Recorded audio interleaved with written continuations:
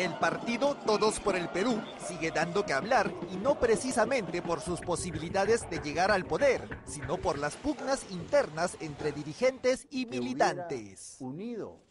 Es el caso del presidente de esta organización, Aureo Segarra, quien anunció que presentará una querella contra el aspirante a la precandidatura presidencial, Fernando Sillones, por lanzar duros objetivos contra él durante una entrevista televisiva. Las frases que él ha, vertido injuriantes diciendo que eh, poco menos que yo soy un delincuente y que estas expresiones lo había recogido de algunos amigos que le habían eh, dicho, pero sin sustentar nada, sin mostrar ningún indicio por lo menos. En medio de una controversia administrativa sobre la legalidad de la militancia de Sillonis, el presidente de Todos por el Perú le dio un ultimátum al ex gobernador regional de Ica para retractarse.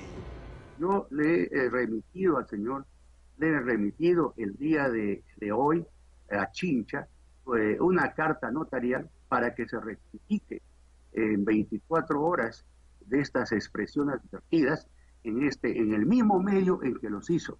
Si, si él se rectifica, no me va a obligar a mí a querellarlo. No me va a obligar. Lejos de zanjar el tema para evitar más polémica, Fernando Sillonis repitió una vez más los adjetivos contra Segarra y se defendió asegurando que solo dijo lo que le contaron sobre el presidente de Todos por el Perú. Realmente yo no, no lo conozco pero sí tengo muy malas referencias de él. Eso es todo lo que dije. Y bueno, si hay que, hay que explicar eso, lo explicaré las veces que sea necesario. Víctor Andrés García Belaúnde me dice, ten cuidado, es un gángster, ¿no? Otros dicen es un sátrapa, este, otros dicen que es un zorro de siete suelas. Eh, esos son los calificativos que eh, yo escucho de él. Además, Sillonis cuestionó el hecho de que Segarra se sienta ofendido por sus palabras, asegurando que las calumnias en política son normales.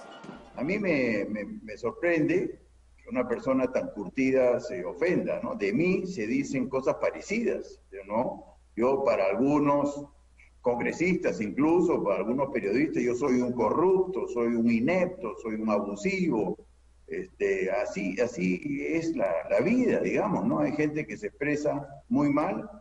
Según Aureo Segarra, la militancia de Fernando Sillonis no es válida porque fue inscrita por un personero alterno y no por el titular como manda la norma. Sin embargo, el ex gobernador regional de Ica señala que su militancia ya es oficial y que los dirigentes que lo llevaron al partido le han asegurado que sí podría ser precandidato.